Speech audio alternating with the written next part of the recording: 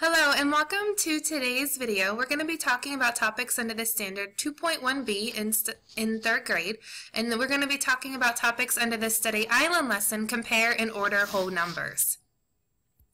So we're basically going to have to line up these numbers vertically, place value per place value, just like you do when you add and subtract, and then we can use that method to compare them. So as I'm going over how to do that, please make sure that you are taking good notes. If I ever go too fast, just pause and rewind so you can get caught back up, and you can even pause at the beginning of a question, work the problem out yourself, and then watch the video and see if you're doing really well or you see which areas you still need some work. So that's a good way to check yourself. So I'm so glad that you are joining us today and let's go ahead and take some notes. So when we are comparing numbers, there's going to be three symbols that we use. And that's going to be either the less than symbol, the greater than symbol, or an equal sign. So equal sign means that they are all the same, so that they the numbers are the same on both sides. A greater than symbol, this middle one here, means that you have a bigger number, see the opening's bigger on the left side, and a smaller number on the right side because you have the points. And you can also think of it as the greater than symbol eats the bigger number. And then the less than symbol, this top one here, it means that the smaller number is on the left because it's a smaller on side of the symbol, and then the bigger side of the symbol has the bigger number on the right. And you can also think of it as this one eats the bigger number also. And you can also think of it as the if you have an L and you scrunch up that L just a little bit, that's going to create a less than symbol. And so if you take that L from less than and smush it up, that'll give you your less than symbol too. So that's just a couple of tricks to keep these three symbols that we need to use in this lesson straight. So when we are comparing whole numbers, there's three steps we need to follow. And the first one is to compare them by lining up the numbers being compared. And so you're going to line them up place value by place value, just like you do when you're adding or subtracting.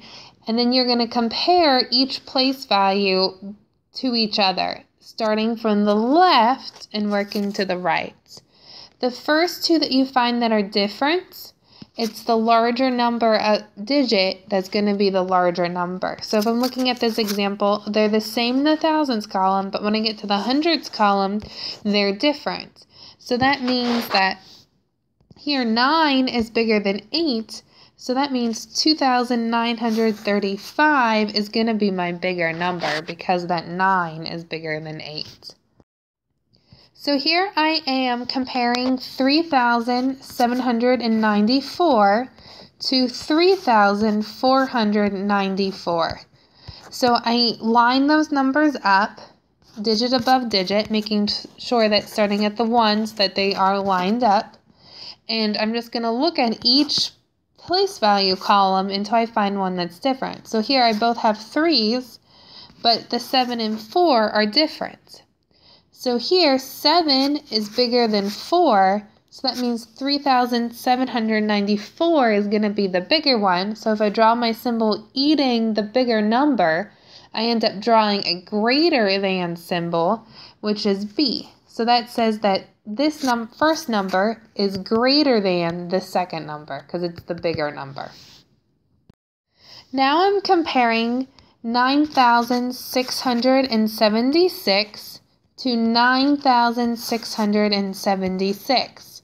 So when I said those and when I look at them, I kind of see, oh, those are the same number. And when I follow my steps to compare numbers and I line them up column by column and look for a difference, I don't find a difference. I have nine, sixes, sevens, and sixes. They're exactly the same number. So that means that they are going to be equal to each other, which is choice C. So now I'm comparing the number 4,361. So I'm going to write that down. And then underneath of it, I'm going to write down lining up the place value column 7,361 and I'm going to compare place value to place value starting on the left and right away I find a column that's different, the 4 and the 7. So this 7 is the bigger number, so that means this whole number, 7,361, is going to be the bigger number.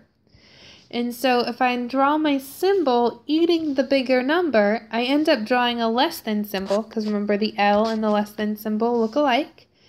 And so that means this first number, 4,361, is less than 7,361. So my final answer is going to be B. So now instead of getting the answers in words, I'm just going to give the answer as the symbol. So this is when you have to be able to match the symbol correctly. So I am going to just continue what I've been doing in all the other problems is rewriting the two numbers I'm given to compare and writing them underneath each other, lining them up place value for place value, just like you do when you add or subtract numbers. And then I'm going to look for numbers that are different in the column. So here I have two fours, here I have two threes, and then in my next column I have an 8 and a 7. So those are going to be different. The 8 is the bigger number, so that means 4,382 is going to be the bigger number. So if I draw my symbol in eating the bigger number, that means that first number is bigger, which it is, and it's greater than the second number, which is going to make letter B my final answer. So here I'm comparing 41 and 46. In this one, the numbers are small enough, you might be able to do that comparison without having to line them up, but you can always use it to check yourself also. So looking at the columns, I have the same ones, 4 and 4, and then looking at this last column, I have different numbers, and this 6 is the bigger number, so that means 46 is going to be the bigger number. And if I draw my symbol eating the bigger number, then 41 is less than 46 the bigger number, and so that means the less than symbol, choice A, is going to be my final answer. Here I'm comparing 41 and 41, and so right away I can see they're the exact same number, a 4 and a 1 and a 4 and a 1. So since they're exact same number, I'm just going to say that they're equal to each other, which is choice B. So now they're giving us four numbers to list from least to greatest. And the trickiest part with these problems is that you need to pay attention to the directions so you can say, is it the biggest number first and then down to the little number? Or do you start with the little number and work up to the bigger number in the case in this problem? And so, and many times they'll give you the answers they'll put both of those in the answers to try to trick you. So make sure you're paying attention and reading your directions. And you can even underline it to make sure you remember. So I'm just going to take the numbers from choice A and list them out vertically so that I can compare them.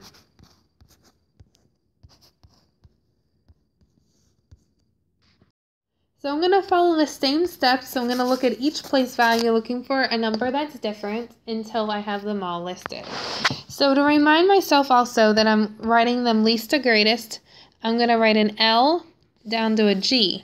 And that way I can also fill them in if I end up finding the bigger number first, I can fill them in and keep them in the right order. So in the hundreds column, I have three fours and a five. So this five is bigger than these fours. So that means this top number, 501, is going to be my biggest number.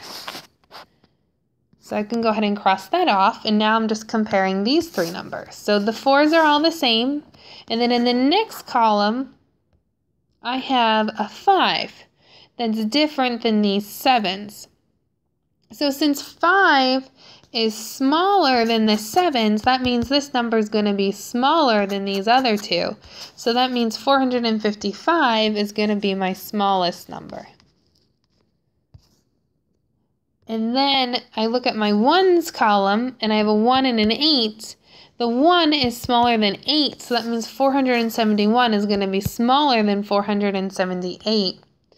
So I can go ahead and fill that in, and I have my numbers ordered from least to smallest. So the, it goes 455, and then 471, and then 478, and then 501, which is going to be choice B as my final answer.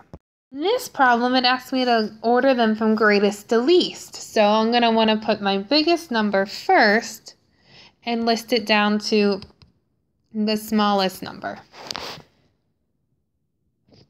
So just to start off, I'm going to list all of the numbers vertically from choice A, lining up carefully all of the place values so that I can start to see who has the what is the biggest numbers and what is the smaller numbers. So right away I'm looking at the hundreds column and I see two sevens and two sixes.